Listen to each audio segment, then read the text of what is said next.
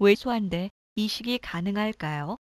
성기가 작은데 성기 이식 수술을 하면 어떨까요? 요즘 장기 이식 시대인데 고추 이식 수술도 가능하겠지요. 돈은 얼마나 들까요? 성기능도 좋아지는지요?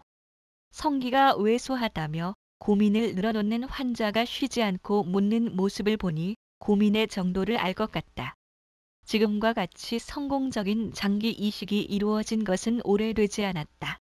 인류 최초로 1954년 미국의 조지프 머리 박사가 신장 이식을 시도에 성공했다. 일란성 쌍둥이에서 한 명의 신장을 떼어내 다른 한 명에게 이식해 준 것이다.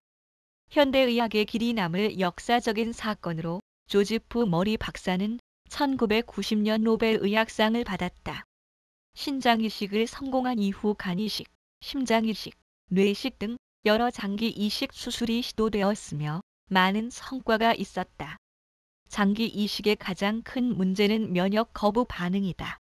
외부로부터 잘 모르는 상대가 인체 내부에 들어오면 먼저 비상이 걸리면서 아군인지 적군인지 구별하는 시스템이 작동을 한다. 외부 물질이 아군이 아니라고 판단되면 제거하기 위해 공격하는 현상을 면역 거부 반응이라고 한다. 다양한 증상과 더불어 이식한 장기가 망가지거나 사망에 이르기도 한다. 이식 수술을 성공적으로 이끌기 위해서는 거부 반응을 최소화시켜야 한다. 의학의 발전은 다양한 방법을 동원하여 장기 이식 수술의 성공률을 높여놓았다. 반면에 이식 수술을 받고자 원하는 사람에 비해 장기 기증자가 턱없이 부족해 아쉬워하고 있다. 성기 이식 수술을 받고자 한다면 기증자의 성기를 잘라 이어 붙여야 할 것이다. 사람마다 서로 다른 세포 표면 구조를 가지고 있다 보니 거부 반응이 일어날 가능성이 높다.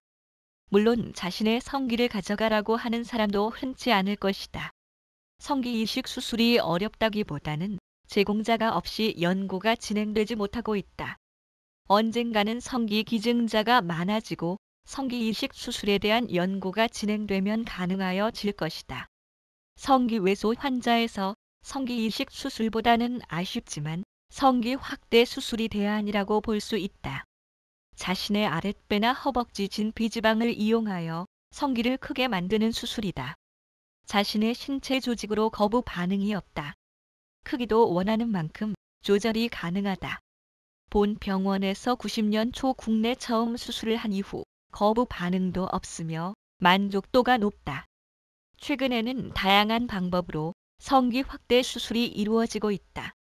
성전환 수술 환자에서는 뱃살을 이용하여 남성의 성기 모양을 만들기도 한다.